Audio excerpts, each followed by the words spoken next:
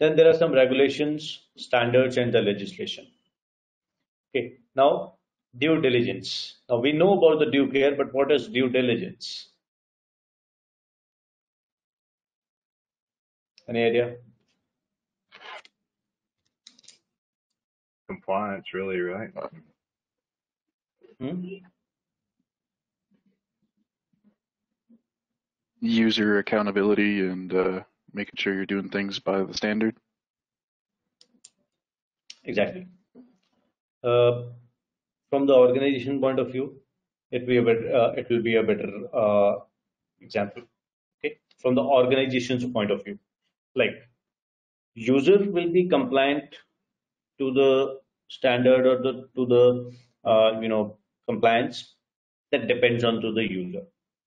Like if you talk about me, okay, I'm using uh, two passwords for my eight or ten, uh, eight to ten accounts, so I'm not compliant to the policy, okay, or any type of compliance.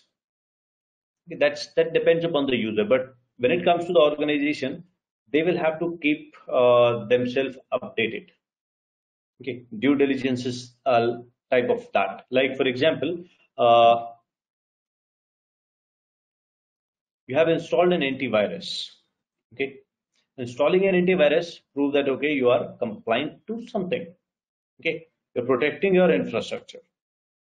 Okay, but the antivirus works on the real time. Okay, today's update, the antivirus will be able to find out the attacks, find out the uh, viruses or the malware till today right? But what happens tomorrow? No one knows, right? Due diligence is updating that antivirus with the signature database. Okay, that is provided by the organization of the uh, the the, the, uh, the organization who developed the antivirus for you. Okay, you have developed an antivirus for yourself, then it is your responsibility to update it. Okay, it's a it's basically due diligence is a legal term. Okay, that the responsible person have not been negligent in discharging their duties. Okay. So for that, there are some standards, uh, some uh, legislations over there. Okay. Now, US have the SOX Sarbanes-Oxley Act that mandates the implementation of the risk assessment, internal controls, and the audit procedures over there. Okay, the Computer Security Act of 1987 that requires the federal agencies to develop the security policies for the computer system that processes the confidential information. Okay, and the FISMA is there, the Federal Information Security Management Act, that was introduced to govern the security of data processed by the federal government agencies. Okay. Then the GDPR is there, General Data Protection Regulation. Okay, this basically is defined by the European Union. Okay, and most of the most of the countries basically, okay, or all the countries I, I can say that uh, you know deals with the customer base in Europe, they'll have to uh, you know adhere to GDPR. Okay, like the information consent should be there. Okay, why the information is being processed, how the information will be processed, how the information will be protected. Okay, the subjects, the data subjects like uh, the users will have the rights onto their data. They can, uh, you know, modify the data at any point they want. They can delete, they, they, they can delete the data or they can request to delete the data and the organization will have to do that. That's basically what GDPR says in a short, uh, in a nutshell. Okay. Now, most of the countries are following this uh, you know, one way or another. One way is just they are, you know, dealing with the organizations in Europe or dealing with the customer base in Europe. Another way is they are voluntarily, uh, you know, uh,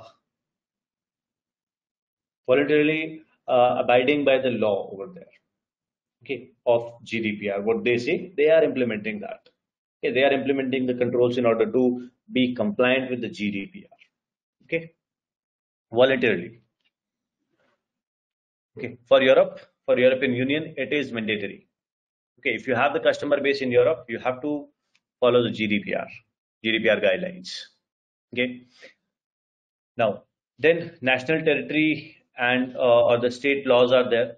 Okay, the Gramm-Leach-Bliley Act for the financial services, uh, Health uh, Insurance Portability and Accountability Act for HIPAA, for the PHI, that is personally health information, or you can say the protected health information, and CCPA, California Consumer Privacy Act, that is for uh, you know just like the uh, approach uh, by GDPR. Okay, the same approach is taken by uh, you know uh, the state legislation of uh, you know California in CCPA, that is California Consumer Privacy Act. Okay, and then there is PCI DSS, Payment Card Industry Data Security Standard. Any organization that have to, you know, uh, process the process the card holder information. Okay, if you want to get the data or you can say get the payment, receive the payment from the card. Okay, if you're processing that information, then you need to adhere to the payment card industry data security standard. And if you are not adhering to the PCI DSS, you'll not be able to uh, what you can call get the payment gateways, for example. Okay, the the cards, the Visa cards, the Mastercards, the EDM cards, basically EVM cards.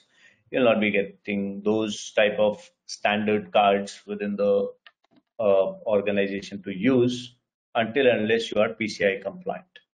Okay, these are the compliances basically. Okay. Any question? Any confusion?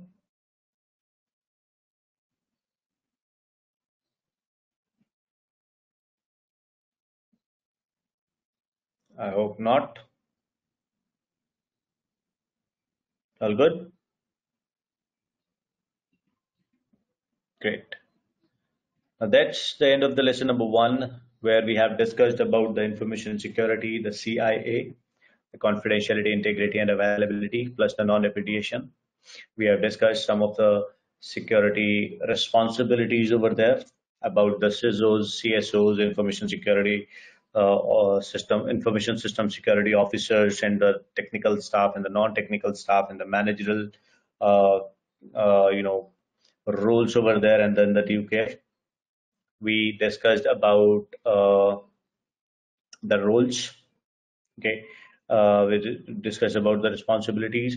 We discussed about the SOC. We discussed about the DevSecOps. We discussed about the CIRT, CSIRT, and CERT.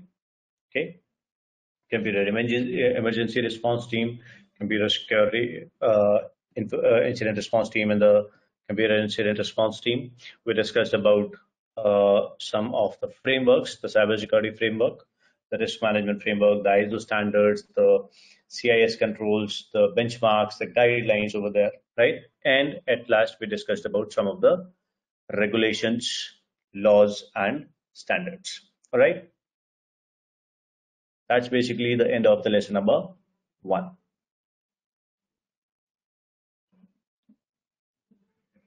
Okay.